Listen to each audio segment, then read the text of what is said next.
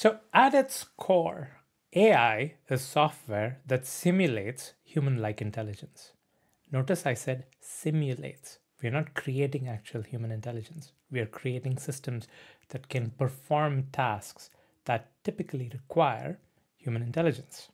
Here is a quote from Google Cloud's page on AI. It says artificial intelligence is a field of science concerned with building computers and machines that can reason, learn, and act in such a way that would normally require human intelligence.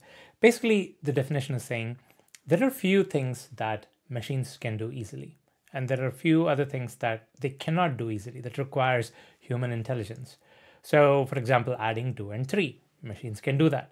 Writing a poem, only humans can do that. It requires human intelligence. So, if a machine managed to do it, then it would be artificial intelligence. Now, I hope we can immediately see the problem here.